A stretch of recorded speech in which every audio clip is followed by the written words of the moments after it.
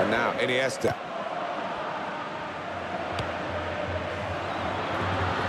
This could be a chance. Got to be. And they are level. That is the equalising goal.